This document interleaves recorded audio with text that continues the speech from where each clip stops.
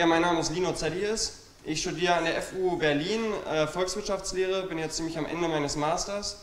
Und vor ungefähr zwei Jahren bin ich im Rahmen von einem Praktikum eigentlich eher zufällig auf das Thema Geldschöpfung und Geldsystem gestoßen. Und ähm, ja, das hat mich dann ziemlich fasziniert, was ich da, worauf ich da gestoßen bin und hat dann eigentlich, ja, da hat eine Art Reise in das Thema Geld für mich begonnen, die jetzt zwei Jahre angehalten hat. Und ich würde fast sagen, das hat für mich mehr Erkenntnisse geliefert, eigentlich mein gesamtes VWL-Studium, ähm, ja, bis jetzt. Also ich glaube, das Geldsystem ist ein unglaublich wichtiges Fundament unserer, unserer ganzen Wirtschaftsordnung, was aber eigentlich von der Mainstream-Ökonomik völlig übersehen wird, weil Geld ja einfach so als, als unwichtiger Schleier abgetan wird. Äh, ich habe ein Zitat von Alexander Del Mar, einem Geldhistoriker von vor 100, über 100 Jahren, und da hat er schon geschrieben, Of all the elements of political economy, money is the chiefest. Of all the institutions of money, The right to create it is the most important. Yet, not a word concerning this once sacred right by the state is to be found in any of the economists. Und ja, ich fand es ganz interessant, als ich das gelesen habe, dass das vor 100 Jahren äh, offensichtlich schon der Fall war, dass die Ökonomen das Thema Geld vernachlässigt haben. Und es scheint sich nicht viel geändert zu haben. Auch wenn jetzt nach der Finanzkrise natürlich ein bisschen anders ist, aber ja, und er betont ja schon, wie wichtig das Thema Geld ist. Ähm, ich habe ziemlich viel auch gelesen jetzt zur Geschichte des Geldes, auch frühhistorisch und über die letzten Jahrhunderte. Und ähm, ja, mein Schluss war, das Geldsystem war tatsächlich entscheidend für den Aufstieg und Fall ganzer Zivilisationen. Wie das Geld organisiert war, wer es geschaffen hat, wie die einzelnen Institutionen ausgestaltet waren, prägt die gesamte Gesellschaft und hat extreme Auswirkungen auf alle Bereiche, die man auf den ersten Blick erstmal gar nicht so erwartet. Und ja, darum geht es hier und das ist die, ja, der, der Rahmen dieses Vortrages und warum ich mich für diese Geldreform einsetze. Äh, erstmal noch ein paar Worte zu unserem Verein. Ähm, also wir heißen halt Monetative, angelehnt als, äh, an so eine Art vierte Gewalt wie Juri, Judikative, Exekutive und so weiter. Da geht es dann ums Geld, deshalb soll das so eine Art vierte Gewalt werden, die Monetative. Darauf gehe ich später ein, weil daher rührt unser Name. Äh, wir sind ein eingetragener Verein, ähm, seit 2012 hat er sich gegründet, ist vor allem in Berlin ansässig. Gegenwärtig haben wir ungefähr 80 Mitglieder äh, aus allen Schichten der Gesellschaft, also Lehrer, Professoren, Musiker, Künstler, Studenten wie mich und äh, ja, werden regelmäßig mehr. Ähm, wir veranstalten regelmäßig Veranstaltungen, also Einführungsvorträge, Workshops, so Vorträge wie hier jetzt und haben im November auch eine Jahrestagung. Äh, betreiben eine Homepage als Infoanlaufpunkt und einmal im Monat gibt es ein Newsletter. Also wer da Interesse hat, kann ihn auch abonnieren auf unserer Homepage monetative.de. Und äh, im Grunde haben wir zwei primäre Ziele. Das erste, Aufklärungsarbeit über das Geldsystem an sich, weil eben sehr viele Missverständnisse oder auch Fehlwissen oder völlig fehlendes Wissen in allen Schichten der Bevölkerung zum Thema Geld herrschen. Und zweitens eben die, die Verbreitung dieser Vollgeldreformidee und ja, die Aufklärung darüber. Ähm, ja, dann ein bisschen was zum jetzigen Geldsystem. Ähm,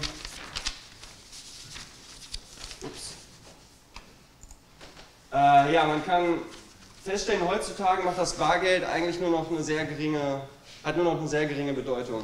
Ungefähr 1% der Geldmenge in der Eurozone ist das hier, ist Münzgeld, 17% Papiergeld und der Großteil des Geldes, 82%, ist das Giralgeld. Das heißt das Geld, was man so auf dem Bankkonto hat, wo man dann beim Online-Banking über verfügt. In anderen Ländern kann das noch deutlich mehr sein. Also in der UK zum Beispiel zahlt man ja kaum noch bar, da sind es glaube ich 97% die dieses Giralgeld ausmacht. Und wie wird dieses Geld jeweils geschaffen? Ähm, das ist vor allem historisch gewachsen, wie diese Institutionen da gegenwärtig sind.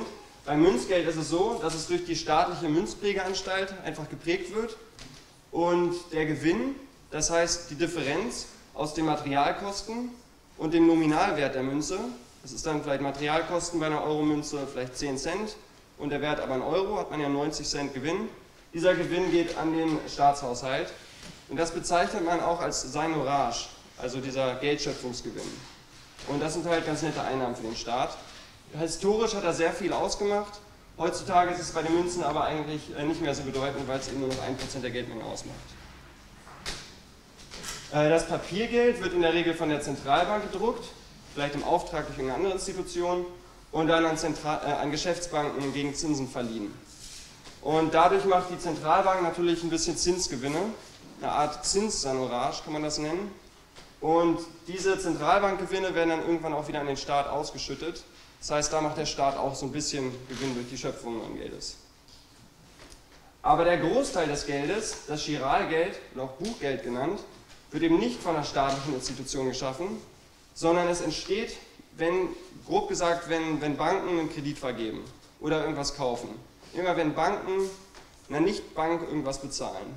Jedes Mal, wenn das passiert, entsteht neues Giralgeld. Und der Staat hat von dieser Geldschöpfung nichts. Es gibt im Grunde kein, keine staatliche Honorage, keinen kein Vorteil mehr für den Staat aus der Giralgeldschöpfung. Eine kleine Visualisierung.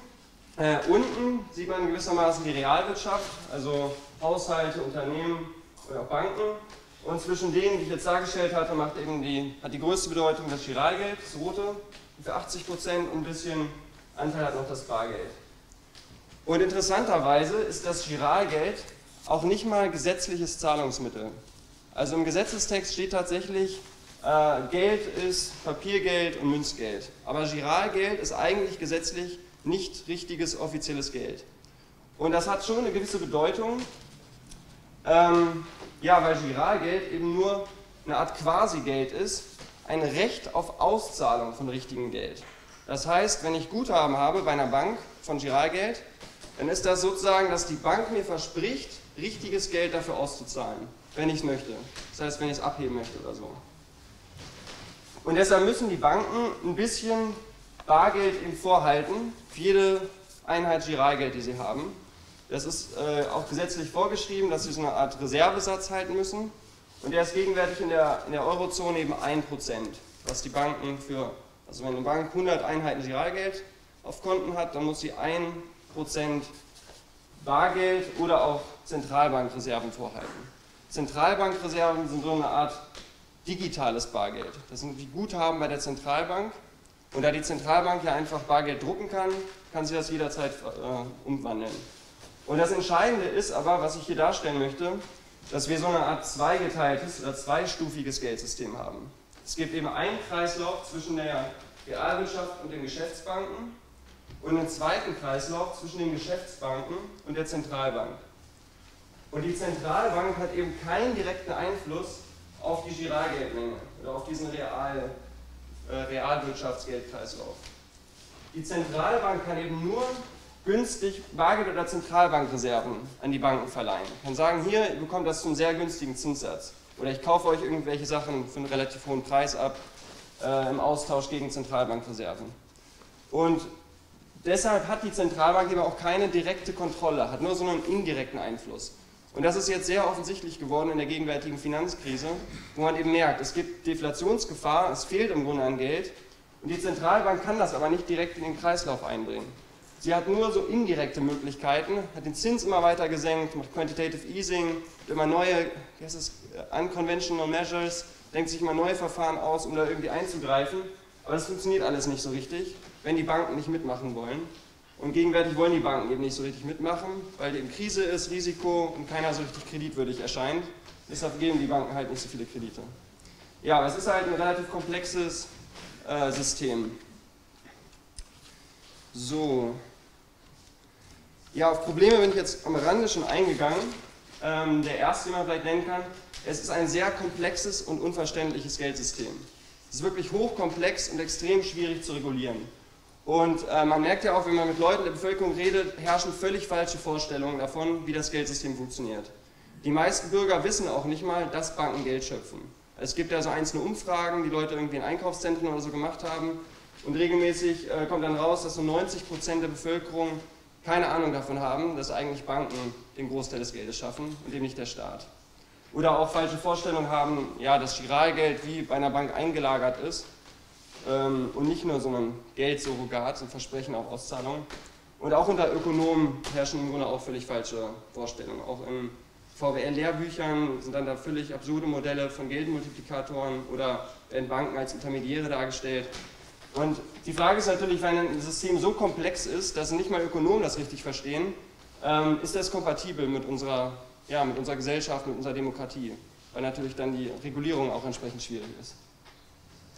Äh, dann bin ich da ja eben schon drauf eingegangen, die Zentralbank hat keine direkte Kontrolle auf die Geldmenge.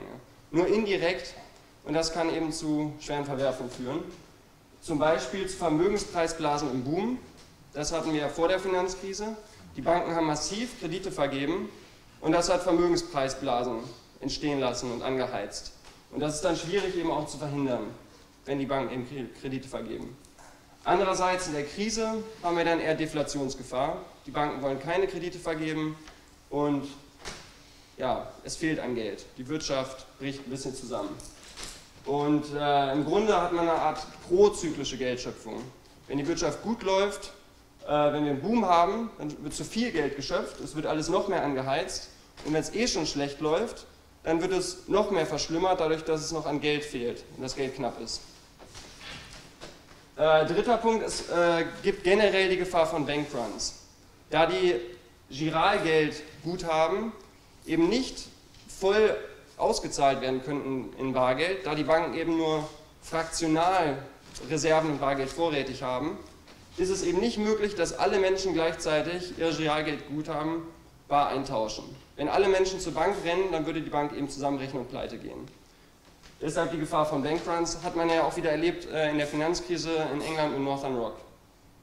Und das äh, bedeutet natürlich so eine inhärente Systeminstabilität, die dann eben auch dazu führt, dass man versucht, das zu verhindern und dann solche Sachen einsetzt wie staatliche Einlagensicherung oder dann eben schnell noch Banken rettet oder irgendwelche Maßnahmen ergreift, um überhaupt so diesen Bankrun-Gefahr abzuwenden, auch wenn eine Bank wahrscheinlich einfach vielleicht schlecht gewirtschaftet hat. Bevor man dann so eine Systemkrise zulässt, ähm, ja, macht man irgendwelche Maßnahmen, die aber zu anderen Verwerfungen führen. Generell äh, impliziert das System eine große Macht und viele Privilegien für das Bankensystem. Ich habe jetzt gerade meine Masterarbeit zu dem Thema geschrieben, inwieweit Banken ja, Gewinne oder auch so eine Art Sanorage aus dem Geldsystem erfahren und bin da eben zu dem Schluss gekommen, dass es ja, massive, massive Privilegien für den Bankensektor bedeuten. Massive Einkommensmöglichkeiten und eben auch Macht. Ja, Macht, äh, ja, einfach Macht bedeutet. Und ja, wenn man sich die Gesellschaft anguckt und die Finanzkrise, dann ist es ja völlig offensichtlich, wie mächtig das Bankensystem ist. Die, die Einkommen der Banker ja, eigentlich mit die höchsten. Man weiß ja, wer irgendwie ganz viel Geld verdienen will, der geht am besten in die Finanzbranche. Und auch wenn man sich anschaut, was an Regulierung passiert ist, trotz der Finanzkrise ist es ja im Grunde eine Farce, was da, was da passiert ist. Weil der Bankensektor, das, die, Lobby, die Bankenlobby einfach so mächtig ist. Und ich glaube, das hat durchaus mit dem Geldsystem zu tun, dass die Banken da eben systematisch große Vorteile erfahren. Und das alles verschärft die finanzielle Ungleichheit äh, insbesondere auch durch die allgemeine Überschuldung des Systems. Dadurch, dass Geld in der Regel nur als Kredit entsteht, bedeutet das eben auch, dass Geld und Verschuldung im Grunde zwei Seiten der gleichen Medaille sind. Es kann im Grunde nur geben, wenn jemand sich verschulden möchte und einen Kredit bei einer Bank aufgibt, jetzt vereinfacht gesagt. Und dadurch ist, systemisch, ist es systemisch notwendig, dass eben irgendein Akteur verschuldet ist. Und wenn der Staat seine Verschuldung abbaut, dann muss, verschwindet entweder Geld und die Wirtschaft gerät in eine Depression oder irgendwer anders muss die Verschuldung übernehmen. Aber dann hat man eigentlich nicht den Vorteil erreicht, dass irgendwelche Verschuldung reduziert ist und es nur der schwarze Peter quasi an einen anderen Akteur überreicht. Und diese Verschuldung ja, belastet natürlich die Gesellschaft und bedeutet auch systematisch eine Umver Umverteilung eben von denen, die Schulden haben, zu den Vermögenden, die eben Zinsen bekommen. Und das Ganze kann man auch argumentieren, impliziert einen gewissen Wachstumszwang. Äh, Chris hatte ja gestern auch zu dem Thema referiert, ähm, zu der Frage, ist das Geldsystem, gibt es da einen inhärenten Wachstumszwang? Und ich würde auch sagen, dass dieses, vor allem diese Kombination von diesem Schuldenberg ähm, ja, und Zinsen einen Wachstumszwang impliziert, wenn eben nicht die Zinsgewinne komplett rekonsumiert werden ins System, aber man kann ja davon ausgehen, dass gerade die Vermögenden eben nicht alles rekonsumieren, sondern eben einen großen Teil ihrer Zinsgewinne reinvestieren und dadurch nur noch mehr Schulden entstehen. Ähm, ja, und damit ist unser, unser gegenwärtiges Geldsystem auch nicht wirklich mit einer nicht mehr wachsenden oder Postwachstumsgesellschaft vereinbar. Dann komme ich zur Reform. Ähm, die Grundidee ist, denke ich, ja, aus dem Problem äh, ganz logisch abzuleiten, eine Verstaatlichung der Geldschöpfung. Also eine Beendigung der Geldschöpfung, der, des Geldschöpfungs, äh, der Geldschöpfungs, der Macht zur Geldschöpfung der Banken. Und äh, Vordenker dieser Reform waren im Grunde Irving Fisher nach der großen Depression mit, den, äh, mit der Chicago School, gab es da so eine Art Chicago-Plan, der dann auch bis ins Weiße Haus vordrang da diskutiert wurde. Das war allerdings noch das Modell der 100% Reserve, die nicht verwechselt werden sollte mit, dem, mit der Vollgeldreform. Es hat halt im Grunde das gleiche Ziel, aber ist noch ein bisschen anders. Ähm, diese Reformidee geriet dann aber ein bisschen in Vergessenheit, weil man stattdessen in den USA eben den Glass-Steagall Act äh, implementiert hat mit Trennbankensystem und vielen anderen Verordnungen, aber eben keiner Reform dieses Geldschöpfungssystems. Und diese Idee wurde dann aber wiederentdeckt von einem äh, Bundesbanker in Deutschland, von Rolf Gocht. Und ähm, der zusammen mit Josef Huber der auch in Deutschland ist, vielleicht kennen einige von Ihnen den, ähm, der hat das weiterentwickelt zur Vollgeldreform-Idee. Und das ist eben was, ja, die, die, Idee, die jetzt global diskutiert wird von vielen Initiativen.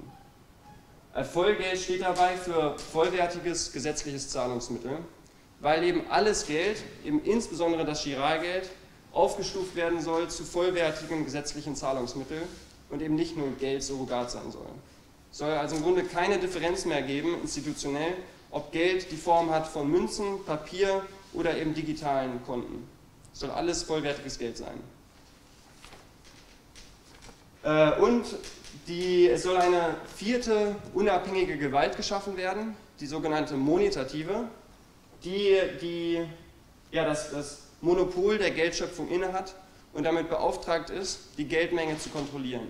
Also es soll dann ein Gremium von Experten geben, die die wirtschaftliche Lage beobachten, die ganze Geldmenge und dann entscheiden, wie viel Geld braucht die Wirtschaft und dann entsprechend handeln und neues Geld äh, der Wirtschaft zuführen und zwar primär über Staatsausgaben. Das heißt, die Monetative stellt vielleicht fest, oh, die Wirtschaft ist 5% gewachsen und ja, wir brauchen jetzt, jetzt salopp gesagt, wir brauchen auch jetzt 5% mehr Geld für die Wirtschaft, damit die Preise eben stabil bleiben. Und das sind dann 5% der Geldmenge, wären dann vielleicht, keine Ahnung, 100 Millionen, das ist ein bisschen wenig, sagen wir mal eine Milliarde. Und diese eine Milliarde wird dann einfach dem Staat übergeben, wird einfach ein Konto vom Staat erhöht um eine Milliarde. Und der Staat kann das dann einfach ausgeben über Staatsausgaben. Also der baut dann Schuhe, äh, Straßen und Schulen oder bezahlt irgendwelche, irgendwelche Angestellten. Und so gerät dann neues Geld in den Wirtschaftskreislauf und kommt eben auch der gesamten Gesellschaft zugute. Äh, also das wäre aber die primäre in Umlaufbringung. Man kann das auch anders machen. Man kann auch ähm, ist das, Bürgerdividenden ausschütten. Jeder Bürger kriegt 100 Euro oder sowas. Oder kurzfristig auch Kredite an Banken geben. Da gibt es verschiedene Möglichkeiten. Aber primär soll das eben über Staatsausgaben geschehen. Und äh, noch ganz wichtig, es ist keine Rückkehr zum Goldstandard. Wir denken, ein Fiat-Money-System ist sinnvoll und die Deckung des Geldes ist einfach die Kaufkraft dadurch, dass es eben ein Angebot an Waren und Dienstleistungen in der Volkswirtschaft gibt und man durch Geld eben einen Anspruch darauf hat, einen Teil davon zu bekommen. Es soll aber eben keinen Goldstandard geben, weil das ja, einfach eine unnötige äh, Inflexibilität dem System auferzwingt. So. Äh, ja, und visuell dargestellt sehe das dann ungefähr so aus. Es gibt eben einen Geldkreislauf, nicht mehr diesen getrennten, die Zentralbank oder die dann so eine Art monetative ist, ähm, ja, das ist vielleicht noch ein bisschen komplizierter, wie man das dann genau differenziert, die hat direkten Einfluss auf die Geldmenge und Geld hat eben einfach nur drei Formen, als Münzen, Papier oder digitale Konten, aber es ist alles vollwertiges gesetzliches Zahlungsmittel. Und ähm, ja, Vorteile der Reform. Erstens, dieses Vollgeldsystem ist, wie man vielleicht eben an der Grafik gesehen hat, deutlich simpler und verständlicher und auch transparenter für die Menschen. Damit natürlich auch deutlich einfacher zu regulieren. Stellt eine ganz neue, einfache Basis und ist, ja, so wie die meisten Menschen sich das Geldsystem eigentlich heute vorstellen, würde es dann durch die Vollgeldsystem, Vollgeldreform erst werden. Ähm, nächster Punkt. Bei Bankpleiten haben wir jetzt das Problem, wenn eine Bank pleite geht, sind die Giroguthaben im Grunde gefährdet.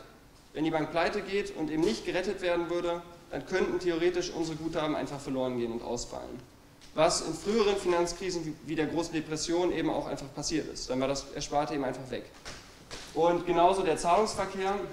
Ähm, wenn die Banken pleite gehen, dann bricht eben auch das ganze Zahlungssystem zusammen. Wenn man in Deutschland die Banken nicht gerettet hätte, dann wäre wahrscheinlich einfach ja, das komplette System zusammengebrochen, hätte einfach nicht mehr zahlen können, alles wäre stagniert, Unternehmen können nicht mehr kaufen, verkaufen, kompletter Systemcrash.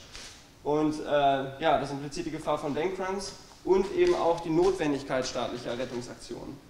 Im Vollgeldsystem wäre das eben nicht mehr der Fall. Giralguthaben wären völlig sicher, der Zahlungsverkehr wäre völlig sicher und äh, es gäbe keine Gefahr von Bankruns daher und auch keine Notwendigkeit staatlicher Rettungsaktionen.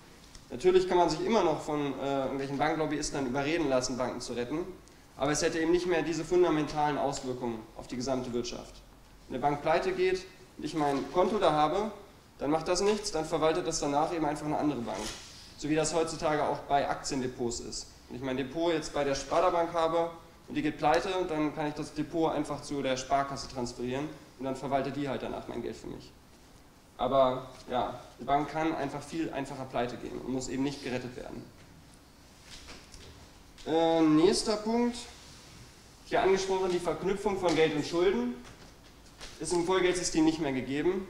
Es kann immer noch Schulden und Kredite geben, aber sie sind nicht mehr eins zu ein, oder mehr oder weniger eins zu eins zusammenhängend mit der Geldmenge. Und daher ist dieser Schuldenzwang aufgehoben. Man kann Schulden reduzieren, wenn man möchte. Äh, sehr wichtiger Punkt, die staatliche Sanorage erfolgt gegenwärtig ja nur direkt auf das Bargeld und indirekt auf das, also auf das Münzgeld und äh, als Zinssanorage auf das Papiergeld. Und im Vollgeldsystem äh, gibt es eine staatliche Sanorage auf die gesamte Geldmenge. Wenn eben die Geldmenge erhöht wird, dann bekommt der Staat dieses neue Geld. Und das ist durchaus sehr beträchtliche Einnahmen. Wir hatten ja gesehen, bisher profitiert der Staat nur von ungefähr 20% der Geldmenge und diese anderen 80 Prozent wären dann durch eine Vollgeldreform eben auch eine, Einnahmequelle für den Staat. Äh, dazu trägt Thomas Betz, glaube ich, im nächsten Vortrag noch ein bisschen was vor. Äh, wie, ja, stellt da so ein paar Zahlen vor. Äh, ja, die Überschuldung für den Staat und hohe Zinskosten für die Öffentlichkeit werden gesenkt. Man kann vor allem bei der System, beim Systemübergang, bei der, ähm, der Transformation des Systems können wir mit einem Schlag einen sehr großen Teil der Schulden reduzieren. Einfach dadurch, dass dieses jetzige Geld dem Schulden gegenüberstehen, durch Geld ersetzt wird, dem keine Schulden mehr gegenüberstehen. Und entsprechend kann eben so ein großer Berg von Schulden mit einem Schlag reduziert werden. Und damit kann man so zwei Drittel der Staatsverschuldung einfach sofort abbauen. Das stellt auch Thomas dann noch ein bisschen genauer vor, wodurch das zustande kommt. Und damit ist mit einem Schlag im Grunde das äh, Schuldenproblem der Eurozone gelöst, mehr oder weniger. Ähm, ja, die Privilegien, die ich genannt hatte für den Bankensektor, werden aufgehoben. Banken werden zu reinen Finanzintermediären. Sie können immer noch von Leuten, die dem Bankgeld anvertrauen möchten, können sie Geld einsammeln und das eben an andere, äh, andere Akteure weiterverleihen, die Kredite möchten, aber sie können eben kein Geld mehr schaffen. Sie sind eben nur noch Intermediäre. So wie ein äh, Immobilienmakler, der auch nur zwischen zwei Akteuren dazwischen steht. Und der Wachstumszwang sollte aufgehoben sein. Also ich äh, habe jetzt nicht genug Zeit, auf die einzelnen Punkte einzugehen, das können wir dann noch in der Diskussion oder im Gespräch machen. Und noch weitere Vorteile, aber das ist auch die letzte Slide zu den Vorteilen. Ähm, und zwar zum Thema Geldschöpfung. Ähm, gegenwärtig gibt es ja im Grunde gar nicht, haben die Banken haben ja gar nicht das Ziel, für, den, für die Wirtschaft optimale Geldmenge bereitzustellen. Die Banken haben einfach nur als Ziel ihre persönliche Gewinnmaximierung und entsprechend schaffen sie eben viel oder wenig Geld. Ähm, und in der Vollgeldordnung hat eben eine öffentlich demokratisch legitimierte Gewalt dieses Geldschöpfungsmonopol. Hm. Ähm, ja, und damit überhaupt erst das richtige Ziel vielleicht vor Augen. Ist die Zeit knapp? Ähm, hm? Zeit knapp. Okay. Ähm, ja, gegenwärtig hat man eine indirekte Kontrolle der Zentralbank, eine direkte Kontrolle. Prozyklische Geldschöpfung im jetzigen System äh, kann ersetzt werden durch eine antizyklische Geldschöpfung. Also Booms können vielleicht verhindert werden, dadurch, dass man dann eben Geld knapp hält und eine Deflation kann auch leichter abgewendet werden. Ähm, ich habe da noch eine ganz interessante Visualisierung. Und zwar kommt oft der Vorwurf der, zur Vollgeldreform, das Geldsystem wäre dann zu inflexibel. Ähm, dass das jetzige, die jetzige Geldordnung so dynamisch wäre für, das, für die Wirtschaftsordnung, weil die Banken so viele produktive Kredite vergeben. Mit Schumpeter sei das, äh, sei das so gut. Ähm, hier sind jetzt verschiedene Prinzipien abgetragen, nach denen Geld geschöpft wird. Also zum Beispiel sehr inflexibel ist, passiert gar keine Geldschöpfung oder eine fixe Wachstumsrate, jedes, jedes Jahr 2% mehr Geld und so weiter. Oder äh, ein Index, alle Kreditnachfragen werden bedient äh, oder ja, ohne irgendwelche Bedingungen kriegen alle, alle Geld, die Geld haben wollen.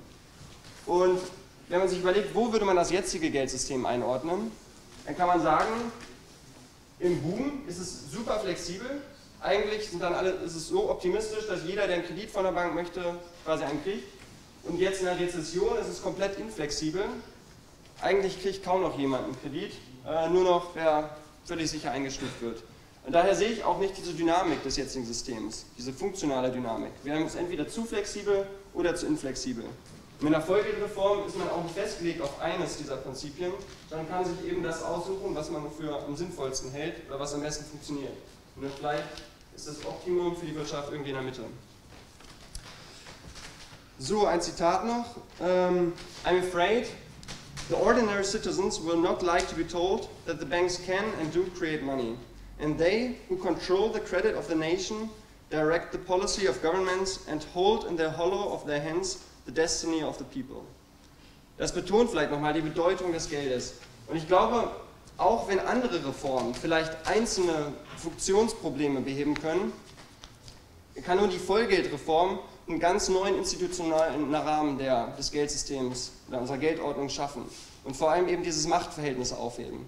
Ich glaube, das Riesenproblem der jetzigen Ordnung ist eben, dass Banken unglaublich viel Macht dadurch bekommen und unglaublich viel Einfluss und man als Gesellschaft ein Stück weit ausgeliefert ist. Alle hängen eben am Kredittropf der Banken und auch wenn einzelne Reformen da Probleme beheben können, ist eben nur dieses Fundament dann nicht gelöst. Und es ist sehr schwierig, da reinzukommen mit einer Reform.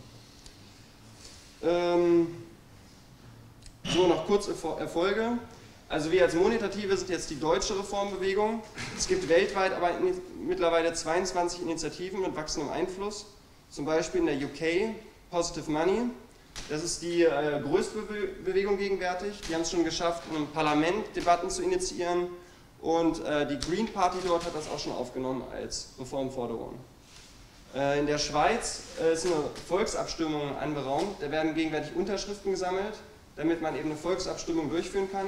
Und das sieht sehr gut aus, dass dann, glaube ich, in zwei Jahren tatsächlich einfach eine Volksabstimmung stattfindet und die Schweizer wählen können, ob sie eine Vollgeldreform haben können. Und das könnte dann tatsächlich der erste Schritt sein, ein völlig neues, ja, globales Finanzsystem. Denn wenn das da funktioniert, dann werden das vielleicht auch andere Länder nach und nach übernehmen.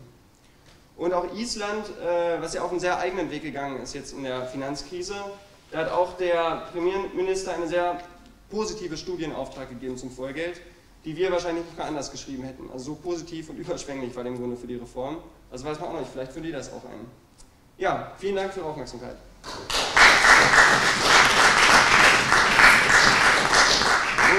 Wer sich noch vertiefend damit auseinandersetzen möchte, noch ein paar Literaturempfehlungen also Josef Huber, das Standardbuch Monetäre Modernisierung. Alternativ gibt es im Internet auch von der britischen Bewegung äh, so 50 Seiten ein Paper, was auch sehr gut ist und eben frei verfügbar. Und ein bisschen spezifischer von Josef Huber auch ein Internetdokument Vollgeld in der Kritik, was eben auf verschiedene Kritikpunkte eingeht. Und äh, ein bisschen technischer von Richard Werner die verschiedenen ökonomischen Theorien auf die Geldschöpfung, was es da so gegeben hat und auch eine empirische Studie belegt, dass tatsächlich neues Geld entsteht, wenn eine Bank einen Kredit vergibt. Also wenn jemand da sich weiter mit auseinandersetzen möchte. Gut, dann ist wohl die Zeit um.